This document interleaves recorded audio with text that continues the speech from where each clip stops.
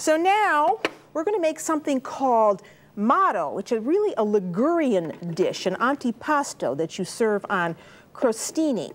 So I'm going to put the fava beans in a food processor because what we're going to do here is make a paste out of this. And I'm going to add two whole cloves of garlic, so this is going to be pretty, pretty spicy. And now what we want to do is get this into a paste. Now, okay, so we have something that's looking really pretty and green. And now what I need to do is add some olive oil to this.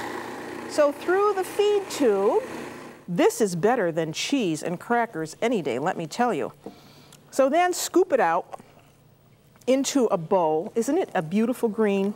And it reminds me of spring, just the color of it alone. And then I add some cheese. And here we have a little bit of pecorino cheese, which is, as you know, sheep's milk cheese.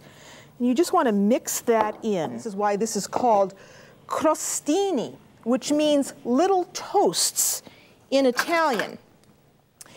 And all you do is take some of this and spread it right over the top of toasted bread. And then at the end, you just give a little drizzle of olive oil over the top. I know it looks messy. You just get a napkin because then you could just lick the olive oil off your fingers. But isn't that nice? And now I just want to dress that up a little bit with some cherry tomatoes over the top. This is a great way to start off, let's say, an antipasto party where you're going to be having just other antipasto items. But most people aren't going to be familiar with this. But you are now, because I've told you all about fava beans and the fact that you can get these even frozen in some Italian stores, and so there's no excuse